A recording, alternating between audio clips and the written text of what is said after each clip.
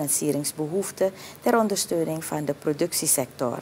Dit haalde VHP-parlementariër Mohinder Kumar Yogi vandaag aan tijdens de behandeling van de ontwerpwet Productiekredietfonds. Yogi is voorzitter van de commissie van rapporteurs voor deze wetsbehandeling. Hij wees erop dat lokale banken niet altijd bereid zijn om onder aannemelijke en acceptabele voorwaarden kredieten te verstrekken aan de productiesector. Het DNA-lid wijst erop dat de regering deze ontwerpwet naar het parlement heeft gebracht om de behoefte die er is in de samenleving te verhelpen.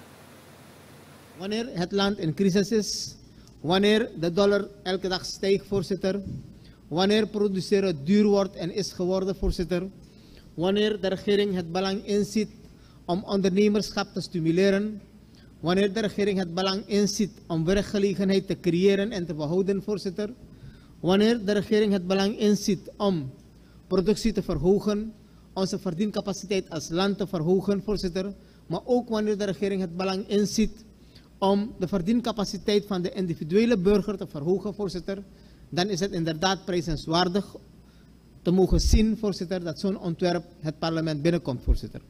Waar met de minimale middelen die er zijn, maar ook andere middelen welke de regering erin wenst te stoppen, voorzitter. Men wil gaan naar een productiefonds waar men ondersteuning wil bieden aan kleine en middelgrote ondernemingen, voorzitter. Yogi riep het parlement op om deze ontwerpwet goed door te nemen en de mogelijkheden te bekijken deze in een later stadium goed te keuren. De regering heeft de ontwerpwet Productiekredietfonds op 29 augustus 2022 ingediend bij het parlement.